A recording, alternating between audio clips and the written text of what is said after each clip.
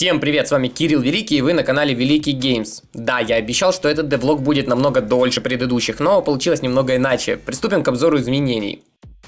Первое это генерация логотипов. Теперь логотипы всех команд будут генерироваться. Однако это не значит, что при старте каждой новой игры логотипы команд будут изменяться. Просто теперь логотипы у меня представлены не одним спрайтом, а набором различных частей, таких как форма эмблемы и различная символика. Многие меня спрашивали, можно ли будет заменить логотипы команд на свои, чтобы игра выглядела более реалистично. На данный момент точно ответить я не могу. А, возможно в будущем такая возможность будет реализована, но, как говорится, это не точно.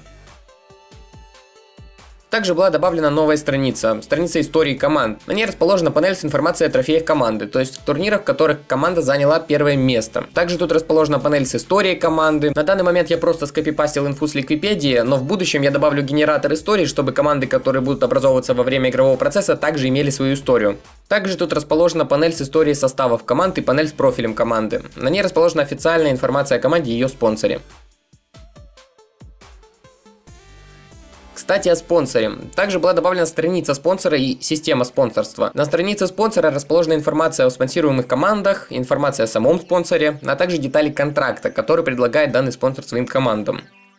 Сперва стоит отметить, что теперь, если на какое-то важное сообщение менеджер не ответил, то в меню на значке сообщения будет висеть восклицательный знак. Итак, теперь при старте игры менеджер будет выбирать, с каким из предложенных спонсоров подписать контракт. Контракты спонсоров могут отличаться в длительности, месячном доходе, а также наличии и видах бонусных условий, за выполнение которых команда будет получать дополнительную прибыль. Подписать контракт с новым спонсором невозможно до тех пор, пока не истечет контракт с текущим.